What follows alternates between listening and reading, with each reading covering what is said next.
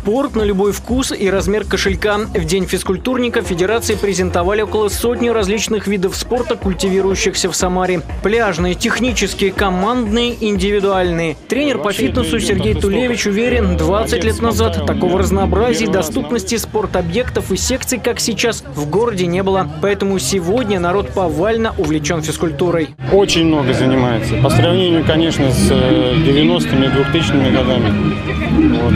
А, Каждый второй. Если ра- раньше каждый пятый, шестой. У каждого свои цели, каждый свои цели преследует, как говорится. Кто-то хочет просто подтянуться, кто-то хочет просто здоровым, вот. кто-то хочет, хочет накачаться, под- э, то есть мышечную массу набрать, кто-то хочет похудеть, подтянуться. Родители детей не уговаривают заниматься физкультурой. Как правило, они сами пример для подражания. Раньше в детстве занималась и художественной гимнастикой, и балет.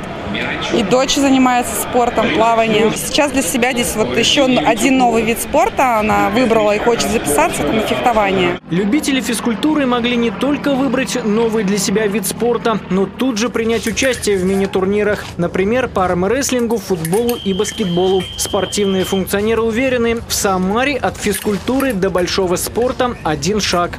Физкультура – это здоровый образ жизни. И приятно, когда приходишь на нашу набережную. И обратите внимание, сколько ребят здесь, сколько молодого поколения э, соревнуются. Азарт, физкультура и спорт, они взаимосвязаны, потому что это, это их объединяет. И это здорово. И э, мы можем э, смело говорить, что наш, на- у нас молодое поколение здоровое. Не обошлось и без наград. Лучшие работники спортивной отрасли, спортсмены и тренеры получили почетные грамоты и дипломы за развитие физкультуры и спорта в Самаре и области. Существует понятие базовые виды спорта, которые относятся к олимпийским видам спорта. Существуют э, другие виды спорта. Всего порядка на текущий момент свыше 120 видов спорта, которые у нас развиваются в нашей Самарской области. В большинстве своем приносят медали. У нас разные виды спорта.